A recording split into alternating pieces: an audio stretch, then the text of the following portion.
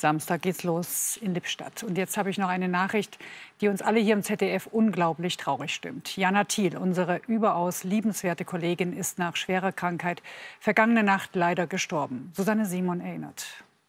Der Sport kurz vor acht mit Volleyball, Tennis und Eiskunstlauf. Der Boxkampf des Jahres ist perfekt. Mit Tee in der Hand, mit toller Luft hier oben. Ein herzliches Willkommen in Gröden zum alpinen Skiweltcup. Moderieren war ihre Leidenschaft. Von 2000 an im ZDF Morgenmagazin, später in der Sportredaktion. Jana Thiel stets kompetent, ob im Studio Messpunkte werden da berücksichtigt.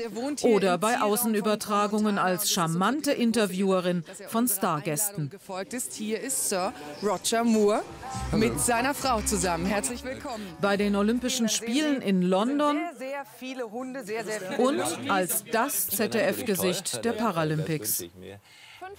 Nominiert wurde sie für den Deutschen Fernsehpreis für ihre Hintergrundberichterstattung von der Tour de France 2003. Geheimwaffe.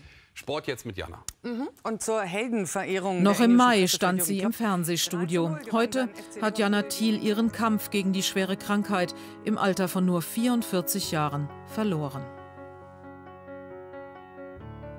Wir haben Sie dabei begleitet. Es gab viele Tränen heute. Jana bleibt für immer in unseren Herzen. Jana, du fehlst uns sehr. Nicht nur hier an diesem großen Tisch, an deinem Platz hier.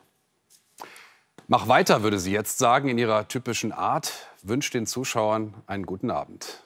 Das tun wir jetzt. Bis morgen.